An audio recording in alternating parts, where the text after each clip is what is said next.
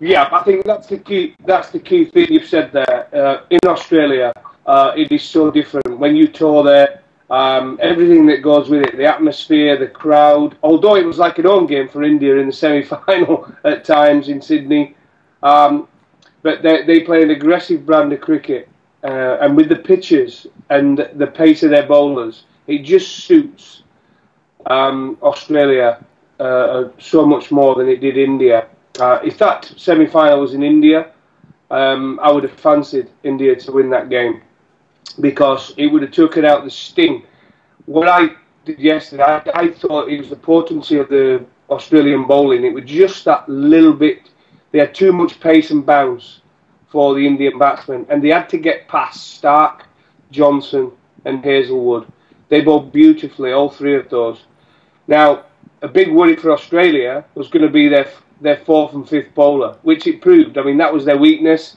Uh, had dragged it back at the end there with a couple of wickets, but India were out of the game by then, and that was down to two things: the bowling of Australia up top against India, and the captaincy of Michael Clarke, who I thought, yeah, everybody's going to question whether he should be in the side for his batting at the moment, but for his captaincy alone, and I said this I think to you at the start of the series he's probably the best captain in the whole World Cup, and he proved that yesterday. Some of his fielding positions, some of his changes were absolutely superb. And another factor is when you look at the teams, this Indian team at present have got some good players, very, very good cricket players. But when it comes down to facing bowling of that quality, they really they struggle strike rate. Do you know what I mean? They can't take the game away from Australia as in Australia, the Australian batsmen, all of those players can adapt and have unbelievable strike rates. You only have to look at Johnson at the end, when he did.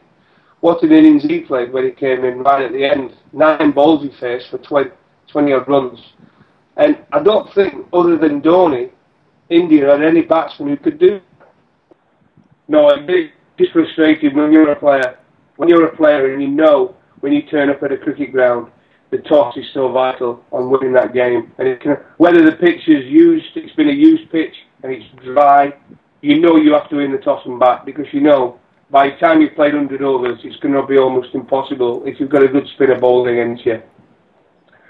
And it could it would have been could have been well different yesterday. I said this when we talked the other day about Sydney as a pitch. If it is a real nice sunny day, you have to bat first um, and it's so important. It makes a big difference, and it did for Australia. Um, I think a good score on that pitch would have been around the 290 mark. So for him to get 320 um, was probably just a little bit too much. 328, they got a little bit too much for India.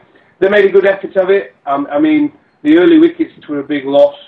Dhoni and Rahane tried to rescue the situation, but against that bowling attack, they knew they had one chance, and that was against their fourth and fifth bowler of Australia, which is going to be a concern for them. Um, it, it is it is a concern for them, but because their bowlers, frontline bowlers, have been so dominant, they haven't been put under pressure yet. But you're right, the toss of the coin um, in day-night matches can sometimes be a huge factor, and and I think it was on that situation, especially at Sydney. I think in Adelaide, I don't think it would have made a difference. Uh, in Melbourne, I don't think it would have made a difference, but in Sydney, I think it definitely did.